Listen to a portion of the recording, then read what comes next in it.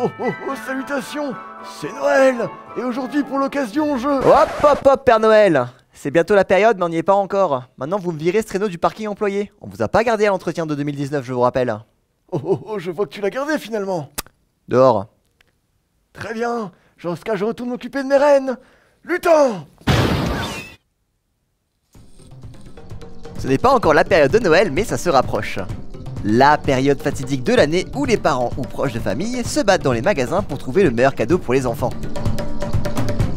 De mon côté, s'il y a bien une chose que moi petit et tous les garçons du même âge adoraient, c'était les dinosaures.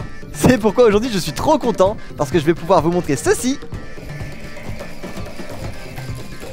Un dinosaure télécommandé Je suis comme un gosse. Euh, le panneau Tu changes le panneau? Bah il est où hein Tom C'est pas vrai mais où est-ce qu'il est passé Tom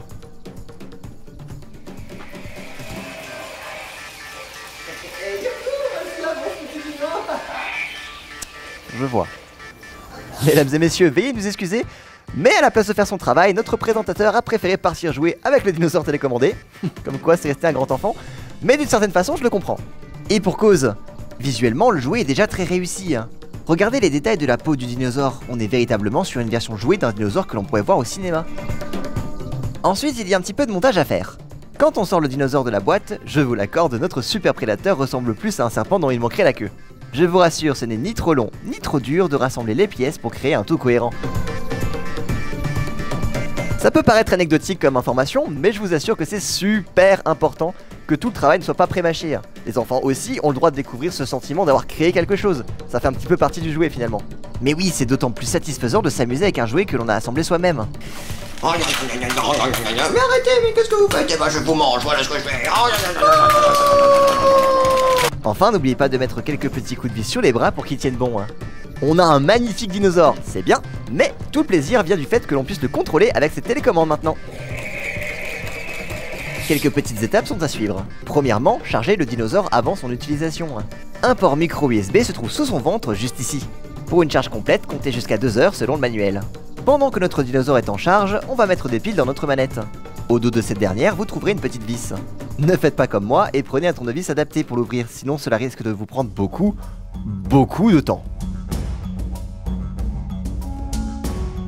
Notre dinosaure chargé et les piles de notre manette prêtes, nous allons pouvoir mettre en marche notre petite terreur. Sur le ventre de notre prédateur, nous avons une petite languette on-off qu'il faut passer sur on pour l'allumer. À présent, posez votre dinosaure sur un sol stable et droit, et tout ce dont nous avons besoin se trouve sur la manette. Cette chose nous intéresse ici. Le bouton power pour établir le lien entre la manette et le dinosaure. Je le rappelle, mais le bouton power du dinosaure doit être sur on pour que ça marche. Les deux pattes arrière du squelette contrôlent respectivement la gauche et la droite du dinosaure lorsqu'il est en mouvement. Le sommet du crâne ordonnera au dinosaure d'avancer, et la mâchoire de reculer. L'œil rouge du dinosaure sur la manette, quant à lui, indique s'il y a encore des piles viables. Comprenez par là que s'il n'y a plus de lumière, les piles sont vides. Et enfin le bouton démo juste ici, où le jouet se déplacera tout seul comme un grand une fois pressé. Vous avez maintenant toutes les clés en main pour montrer aux autres jouets qui est la grande terreur de la chambre. Dernière fonctionnalité, vous avez un petit réservoir d'eau sur la nuque du dinosaure juste au-dessus. Tirez légèrement sur cette épine pour l'ouvrir. Maintenant, prenez la buse fournie avec et remplissez le réservoir avec de l'eau. À présent, refermez le couvercle et votre prédateur sur roulette se voit maintenant capable de cracher de la vapeur d'eau de sa gueule pour le rendre encore plus terrifiant. Petite astuce, pour éviter que notre buse ne s'entarte à cause des minéraux qui se trouvent dans l'eau, privilégiez plutôt de l'eau déminéralisée ou distillée. Et voilà, vous savez tout ce qu'il y a à savoir sur le dinosaure télécommandé de PlayStatic. Si la vidéo vous a été utile, je compte sur vous pour le commentaire. N'oubliez pas de partager, de liker et de vous abonner à la chaîne YouTube pour ne rien louper de nos prochaines vidéos.